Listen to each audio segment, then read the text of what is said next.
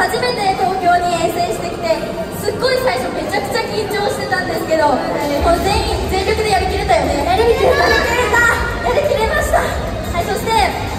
私たち研究生準決勝に進めたからには決勝に行って絶対優勝したいです。そのためにも今日見てちょっとでもいいなって思った人上の方、ま、周りを歩いてる方とちょっとでもいいなと思った方はこの後測定がある時に大きな拍手よろしくお願